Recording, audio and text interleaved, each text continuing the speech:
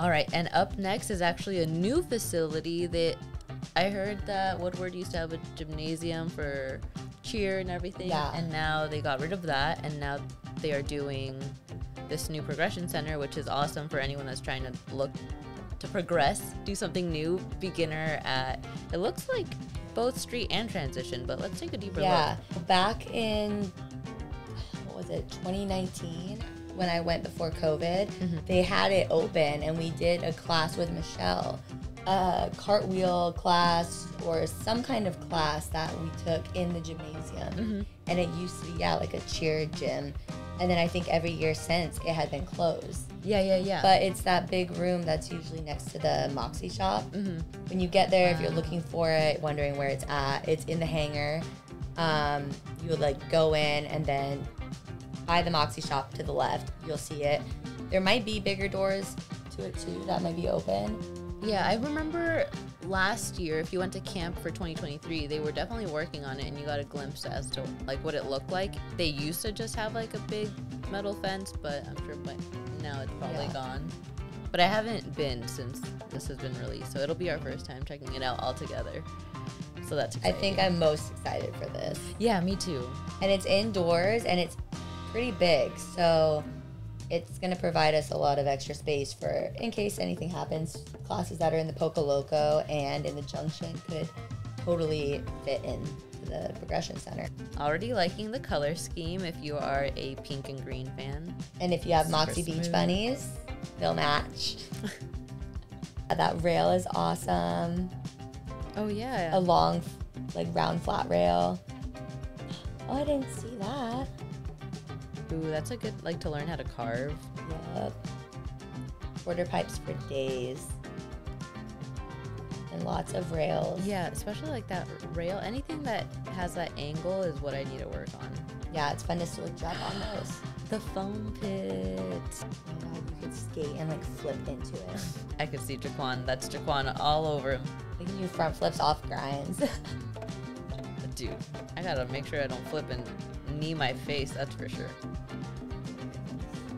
Okay, see, that's really cool. That's what I'm excited for too.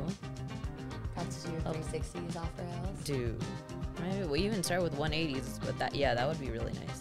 Yeah. I just like the bump to rail too. It would be a good Yeah, you could even probably like ride up that. Yeah, the ledge. That's cool. And the fact that everything's brand new and perfect. I know. See, that's a that's a good. a lot of small like down ledges like very tiny like where you could just kind of step onto it if you wanted to yeah. just to get the feel of like what it feels like to go down is this where Megan's gonna be teaching her rail classes? Because I could definitely see Megan teaching all the rail classes here. yes a lot of beginner classes a lot of the street classes are going to be happening here I'm only teaching four classes because I definitely want to take some classes this time around. So, uh, if you are taking some of those rail classes, I'll probably be watch- seeing you because I definitely want to learn from Megan. oh there's another mini ramp obviously as you can see here Yeah. And how long is that? That it's looks like huge. So just imagine like all the campers we usually have just like huddled up on that little mini mini in the art Yeah. park. yeah. Now we have like three locations to disperse those Yeah. campers. So everyone's gonna get so much more chance to actually participate and like skate the ramp. That that actually reminds me of if you've been to Camp East, they do have like a mini area in one of the. It's the one next to Cloud Nine. But anyways, it, th- they have this really long mini with a spine in there. It's similar to that, but this one does not have the spine. But it allows you to have like two classes at the same time, pretty much, and not be in each other's way. And I like that it has like the different like the different transitions. The different levels. Yeah, Yeah. so that way, once you start getting real confident in the shorter one, you can keep leveling up during the class. Yeah, I see like I'm seeing like a lot of stepping stones. Like, prog- like progression center is the perfect name for for this area Yeah. because you can like start on the flat rail and then you can kind of go to the one that's the same size right there, but it's over at like a gap. And then you can go to the one that has like the little angle over a gap, and you can kind of like step it up little by little. Yeah, anyone that's trying to learn, I feel like Oh. anything street, that is your spot. So there is a big door, it looks like, that opens up to like the front of the Oh, plaza yeah, area. yeah. Okay, cool. This progression center is really awesome. I believe I'm going to be teaching some classes in here, so I will see you there if you are taking any beginner uh, street classes. That's I think that's where my beginner street classes to be. Yeah, you, you might even have a dropping. Ooh.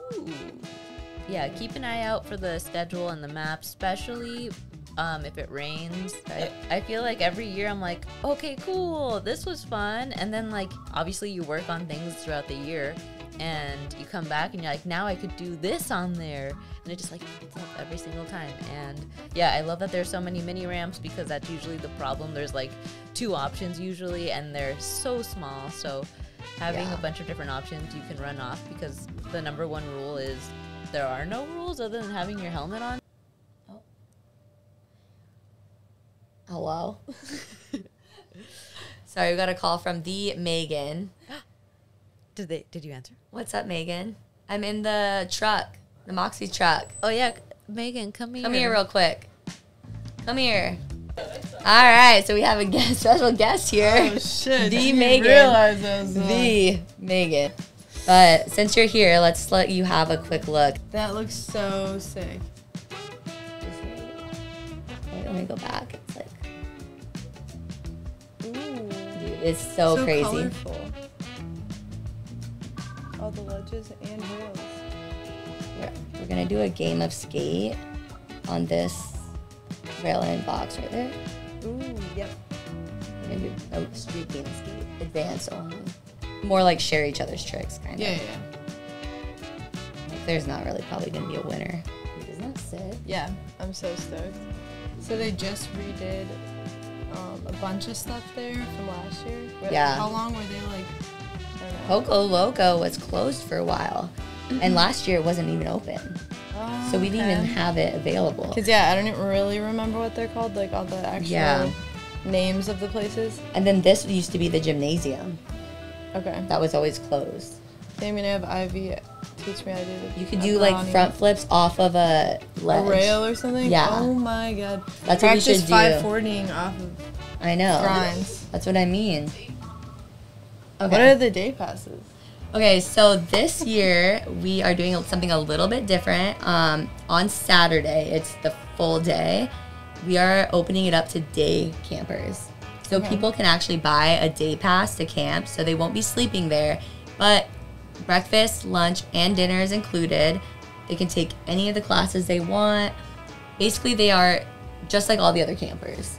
Okay. Um, but they just leave at the end of the night.